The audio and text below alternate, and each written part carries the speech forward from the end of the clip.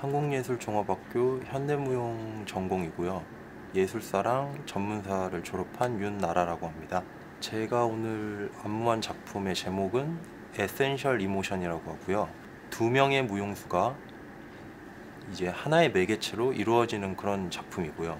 저의 감정에서 내면과 외면 이 호흡을 두 명의 무용수의 호흡으로 하나로 맞춰서 이제 풀어내가는 그런 과정이었어요.